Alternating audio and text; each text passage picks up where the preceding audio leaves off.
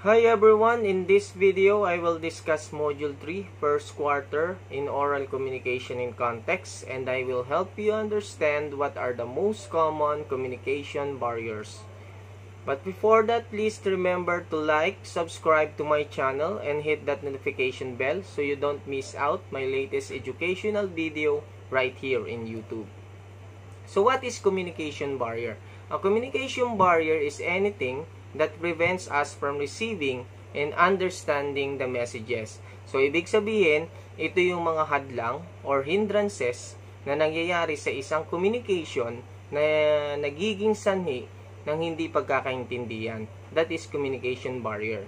Like for example, the use of jargons, emotional barriers, lack of attention and interest, distractions, differences in perception and uh, point of view, physical disabilities like hearing or speech defects. These are the most common communication barriers that we experience.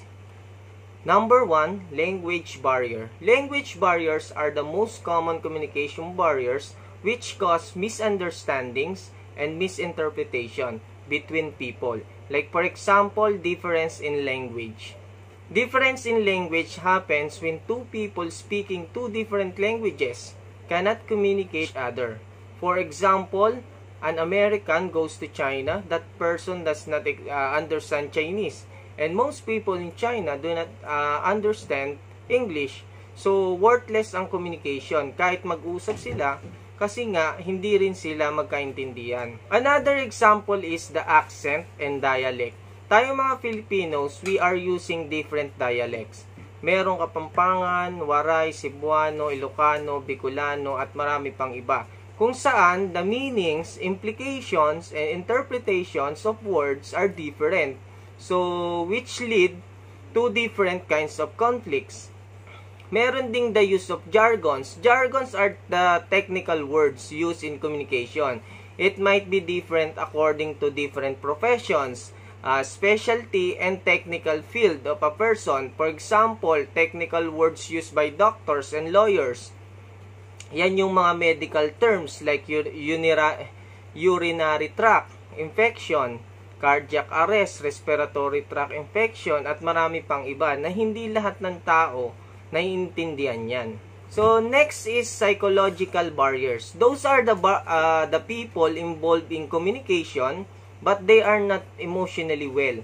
They won't be able to communicate properly. Ito yung mga taong hindi maganda yung pakiramdam or dumadanas ng matinding emosyon. So, isa sa mga psychological barriers ay lack of attention. So, paano to nangyayari? Like for example, when the person is in tragedy, does not want to listen to other people giving advice because of the problem he or she is facing. So, pwede ring perception uh, and viewpoint. Magkakaiba tayo ng mindset or ng pananaw. So, yung interpretation mo at understanding sa mga bagay-bagay, iba rin. Kaya hindi mo maintindihan yung mga speaker which creates a psychological communication barrier.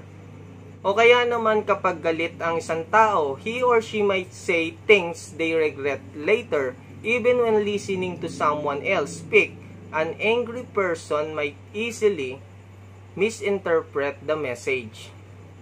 Next is physiological barriers of, com of communication.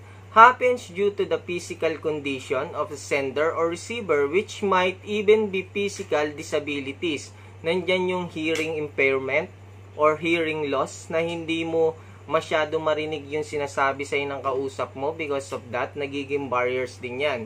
Okay? And even the vision impairment, ako mismo yung patunay na kapag malabo mata ng isang tao, nagiging barriers yan. So, bakit? Mas madali mo kasi maintindihan yung kausap mo kapag nakikita mo yung gestures, facial expressions, pati na rin yung buka ng bibig niya. So, nagiging barriers yan kapag hindi mo nakikita yung isang, uh, yung speaker or yung communicator. Pwede ring speech disorder For example, bulol ka or some disorders affect fluency of communication or may sakit ka sa pagsasalita, nagiging barriers din yan.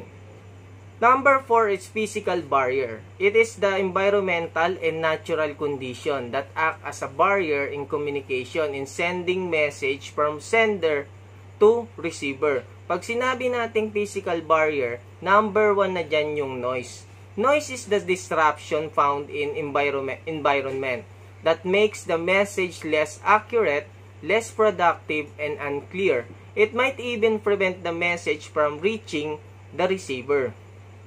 Pwede rin because of climate, if temperature of a place is too high or too low, sobrang init or sobrang lamig, people cannot concentrate on the information they are sending and it promotes uncomfortable feelings which leads to environmental and physical barrier to communication. So, katulad sa mga schools, isa yan sa mga nagiging barriers of communication, yung sobrang init sa classroom. Kaya minsan mga students hirap makaintindi dahil sa climate. And also information overflow. When information becomes more than uh, than can be received at a particular time by the receiver, yung too much information, nandyan yung may nakakalimutan ka na na uh, at nami-misinterpret yung mahalagang bagay. Kasi nga because of uh, bombarded ka na masyado ng maraming information, eh may limit lang naman yan. Kaya nga uh, parang kapag nagre-review kayo, unti-unti lang. Kasi kung ipapasok mo lahat dyan ng isang bagsakan, ay mawawala din lahat yan. Unti-unti lang dapat. So, next is the systemic barriers. Systemic barriers are policies, uh, practices, or procedures that result in some people receiving unequal access or being excluded.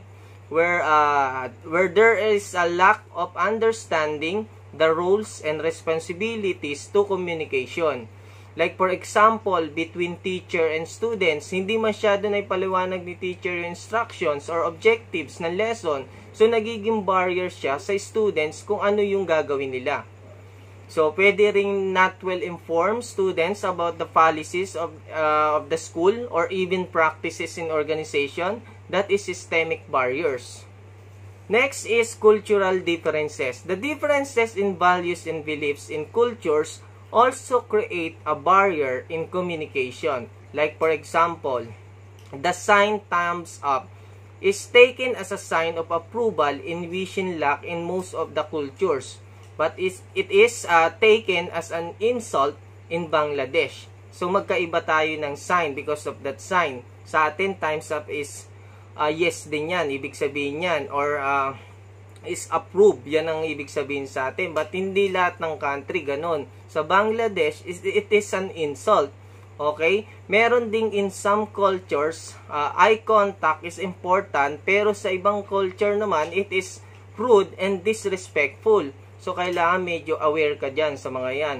O, kahit yung pagtango or nodding, maraming bansa na ibig sabihin yan is yes, katulad natin. Most of Europe, Latin, and North America, pero meron ding in it means disagreement or no. Katulad na lang sa Turkey, Lebanon, and Syria. So, kailangan aware ka doon kasi dyan nagsisimula yung misunderstanding.